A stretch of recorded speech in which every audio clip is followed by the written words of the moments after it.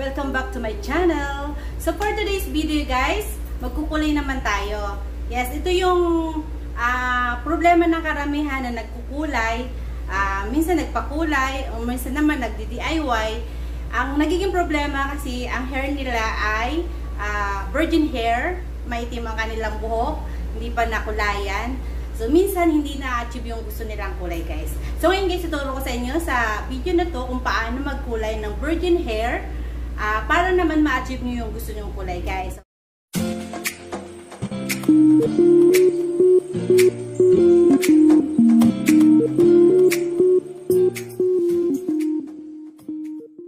So, bago yan guys, kung bago ka sa aking channel, subscribe na, hit the notification bell para updated ka sa aking mga susunod na video.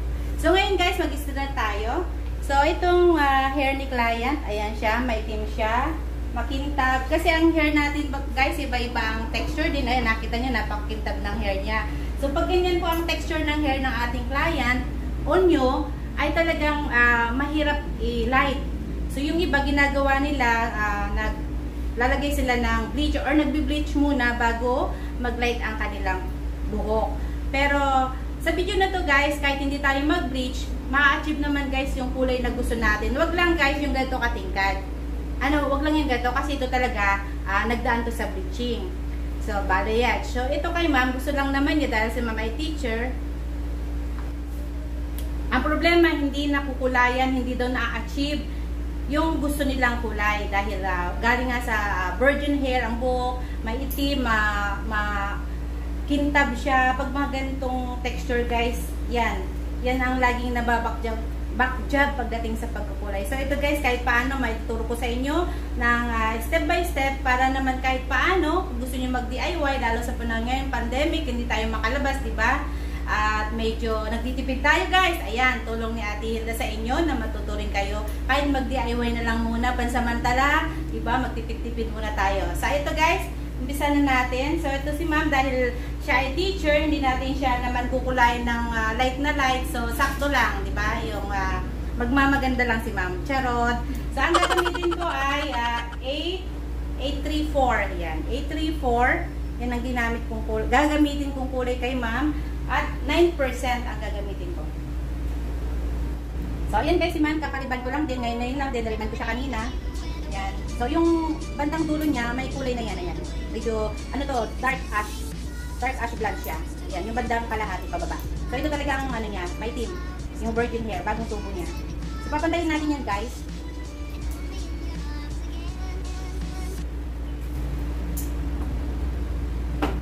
So, ito guys, ang, text, ang, ang mixture niya is 1 is 1. Sabihin yung colorant natin, uh, kung ano yung dami ng colorant, ganun din yung dami ng oxidant. So, ang ginamit ko kay ma'am is 9% lang. So guys, kung gusto mo naman na mas light pa dito, gumamit ka ng 12%.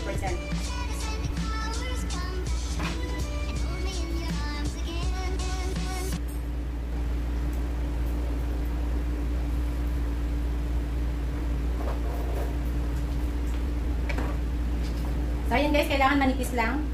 Manipis lang yung ano, sectioning. Tapos, 1 inch away from the roots. Laging 1 inch away from the roots ang pag-apply ng colorant. Bakit nagpapatsi-patsi minsan ng kulay? Kasi, syempre pag nag-DIY tayo, hindi naman natin alam kung paano ang tamang application.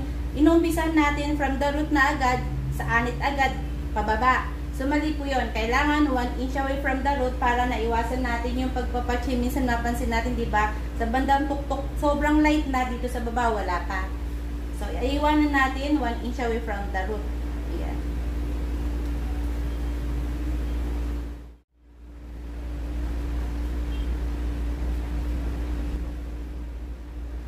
Ayan guys, ang application, kailangan, huwag mong susuklayin, pababa yung gamot. Pagkalagay mo ng gamot, ganyan, pantay. Kailangan nandun talaga si gamot sa hair. Kasi pag hindi, yun yung kaya hindi siya nakukulayan kasi maaaring uh, hindi enough yung nilagay mo gamot or pangkulay.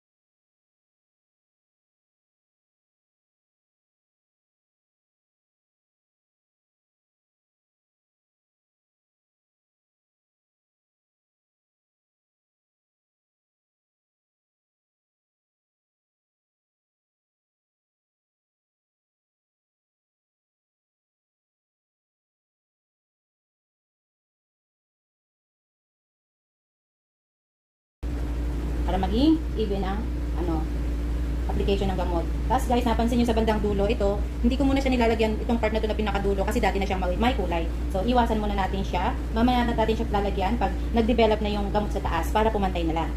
So, unahin muna natin guys nilalagyan yung mga part na uh, virgin hair or uh, bagong tubo ng buhok natin. So, ayan guys, nakita nyo, di ba? Yung gamot niya talagang marami. Kasi pag konti lang yan guys, matagal yan mag matagal yan mag-develop, matagal kumapit si gamot, si kulay. Kaya medyo kailangan na pagtitipirin. Lalo pag ganitong maitim masyado ang buhok. So, isa pang tip, guy, tip, na may bibigay ko sa inyo pag nagkukulay kayo sa client, kailangan tatanungin muna natin sila kung nagkulay pa sila ng black. Kasi minsan nadadaya, nadadaya tayo ng maitim na buhok. Di ba? Yung pala nagkulay si client. So, pag hindi niya sinabi na nagkulay siya ng black or hindi mo siya tinanong kung nagkulay siya ng black, tapos kinulayan mo siya, hindi na-achieve yung kulay mo. Kasi po guys, talagang kapag nagkulay ka ng black, kahit ano pang ilagay mo pang kulay sa buhok mo, hindi natatalaban. So, importante guys na tanungin natin si client, bago natin kulayan, kung nag-itim siya, nagkulay siya ng black sa buhok niya.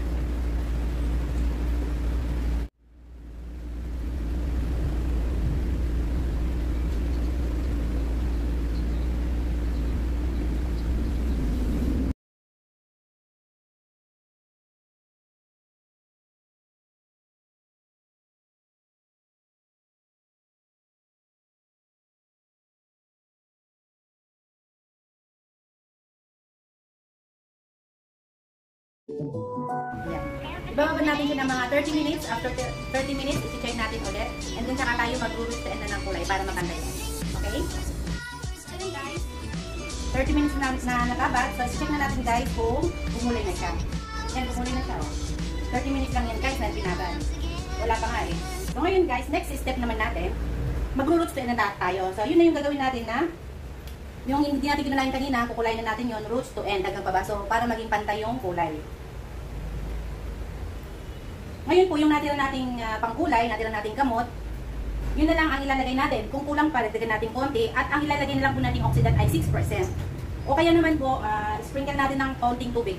Sprinkle natin kaunting tubig kasi nasa roots na tayo. So, kailangan, uh, yan, matutone down natin yung uh, oxidant na ginagamit natin pag nasa atin, nasa uh, anit na. Kailangan hindi na 9%, hindi 12%, kailangan 6% lang din. Pwede rin sprinkle ng konting water. So, ayan guys, mag-roots to end na tayo. So, ayan guys, 30 minutes lang kami nagbabad, pero ayan, pumulay na siya. Ayan, pumulay na siya agad, oh. Pero yung iba daw, 1 hour na binabad, pero hindi pa rin lumilitaw yung kulay. Pagka ganun kasi guys, na nangyayaring ganun, na 1 hour na binabad, hindi pa rin lumilitaw ang kulay, maaaring, ano, uh, malabnaw yung timpla ng gamot sabihin, mas marami yung oxidant niya kaysa sa colorant. Kailangan 1 is to 1 yung uh, ratio ng pagtimpla niya. Kung ano yung dami ng uh, oxidant, ganun din yung colorant.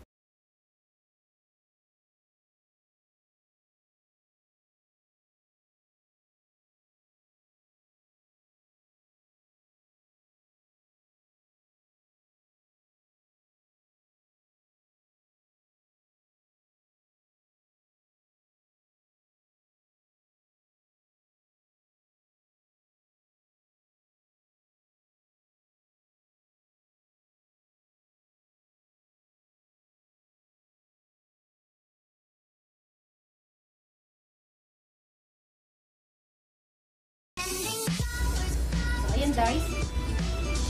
Yung mga part na iniwan natin kanina o hindi natin nilagyan, yan. Yun ang nalagay na ipopokus natin na lalagyan.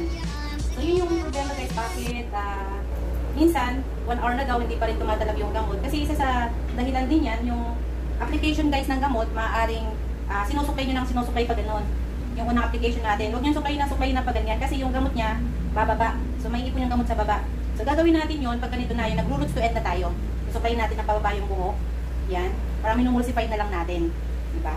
Pero yung sa roots, medyo dadagdagan natin yan. Yan, yung roots na yan, medyo dadagdagan natin yan para mag-develop agad. Kasi nga, yung buhok ni ma'am sobrang itim. Ito talagang ganitong klase ng buhok or texture na yung mga makikintab, masyadong maiitim, ang hibla. Mahirap talaga siya guys uh, sa unang uh, kulay. Mahirap talaga siyang kulayan. Pagka hindi po talaga tayo nagdaan sa training, mapapalpak talaga tayo, mababak dyan. Pero okay lang yan guys, try and try hanggang sa matutunan. Kasi guys ako nung noon, nung nag-start lang ako, syempre na-experience ko rin yan maraming backjab, maraming mali, di ba? So hanggang sa kakaatin ng training, kakaatin ng training, natutunan rin natin, natin kung yung tamang proseso.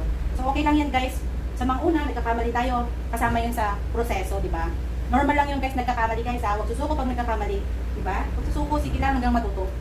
Eh di ba guys, yung iba na nagkakamali sa jowa, ng beses na, di ba, nagkamali sa jowa, jowa pa rin ang jowa, di ba? Walang padala-dala. Charot! Naipasok yun. Ayan. So, hanggang sa matutunan. Hanggang sa perfect.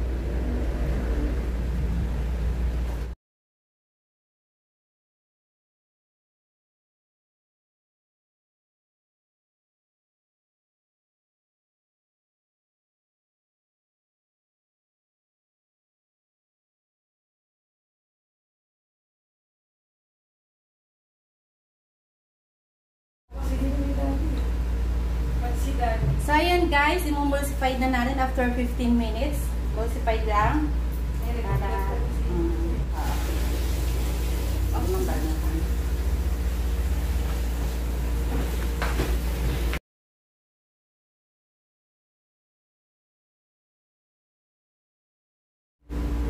So, ayan na guys. Tapos na kami na magkulay ng buhok ni ma'am. So, ayan. Ang ginamit kong kulay sa kanya is 834. O, di ba? Achieve yung kulay niya kahit hindi kami nag-bleach. Kasi nga yun yung ah, problema sa mga katulad ng texture ni ma'am kanina na ah, maitim, tapos makintab. Sila talaga yung type ng hair na mahirap ah, ma-achieve ang kulay. Kaya yung iba, naggamit ng bleach. So, ang kalalabasan naman minsan pag hindi tama, nagpapachi-pachi, di ba? So, ayan guys, kung nagustuhan mo ang video na to, click like, comment below, subscribe na, and hit the notification bell para updated ka sa aking mga susunod na video. Thank you ma'am for uh, kayo na i-model ko ang pagkukulay sa buhok niyo. Ang aking client si ma'am, teacher, yan. Medyo matagal-tagal ko na rin client. So, ayan guys, thank you for watching. Subscribe. yes, thank you ma'am. And enjoy. Keep on smiling. God bless to all and see you next time.